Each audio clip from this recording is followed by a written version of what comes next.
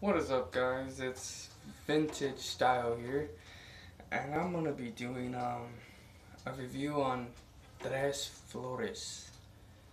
Um, I just picked this up about maybe two weeks ago but I just thought I'd fucking do a review on it cause I mean why not? This shit's pretty old school. My hair's pretty fucked up right now. I, I use this every time when I go to school. It's quick.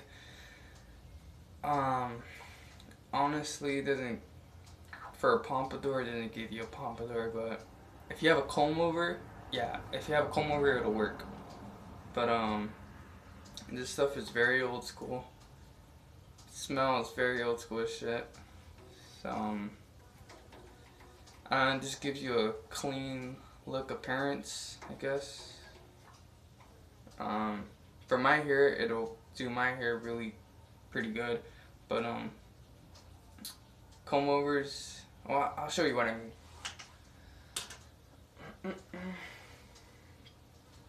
Like that.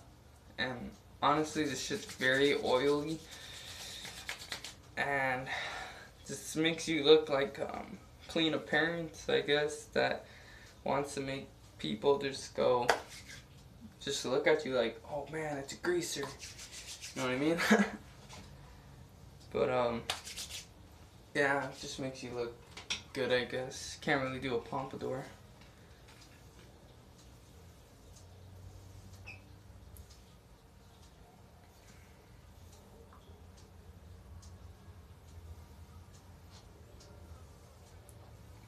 Honestly, I'd rather buy this product if you're broke.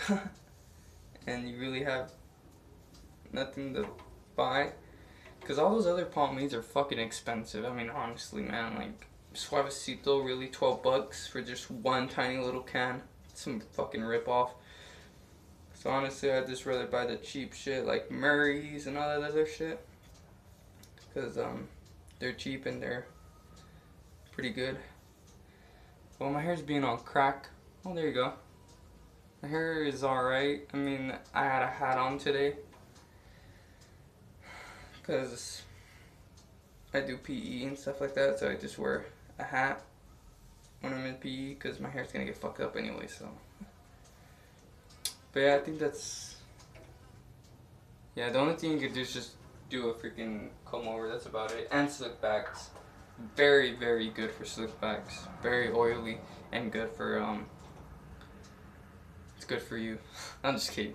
She, she has fucking petroleum in it, dude. But um, yeah. Guess that's about it, guys. I just wanted to review this because um, why not? so, talk to you guys later, and I hope I will be posting more videos of vintage styles and all this other stuff. So, alright, I'm gonna go wash my hands now. So, later.